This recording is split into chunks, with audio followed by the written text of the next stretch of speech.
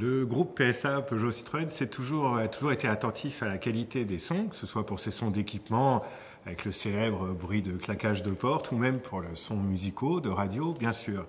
Mais depuis quelques années, vous aurez pu observer euh, dans notre société une vraie rupture technologique pour le son. Maintenant, notre rapport au son a changé, nos interactions avec le son ont changé dans la société. Ben, il est de même pour l'automobile, et le groupe est très attentif à intégrer au plus vite toutes ces nouvelles technologies et les repenser aussi pour l'automobile. C'est notre action. Les nouvelles technologies audio-numériques, par exemple la, spatialisation, vont apporter bien sûr de nouvelles expériences, un nouveau rapport au son, mais vont aussi, en donnant plus de sens au son lui-même, nous permettre d'aider mieux euh, le conducteur ou même les, passagers dans leur rapport au, système intégré dans la voiture. Par exemple, la navigation, quand on vous demande de tourner à droite, parfois il faut réfléchir un instant pour se souvenir où elle est la droite.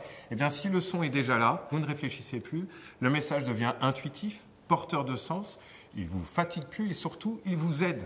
Voilà. Donc, la spatialisation fait partie intégralement d'une aide à la conduite. Donner du sens au son, c'est ça les nouvelles technologies c'est pas se contenter entre guillemets de qualité sonore, mais c'est aller beaucoup plus loin dans l'interaction entre l'homme et la machine, l'homme et la voiture. Bah, c'est ça l'audio numérique de demain. Ça changera votre vie au sens où vos sensations proprement dites vont vraiment changer. Là où le son était euh, un objet un peu virtuel qui se baladait, éventuellement m'informer, il devient quelque chose sur lequel je vais vivre une nouvelle expérience.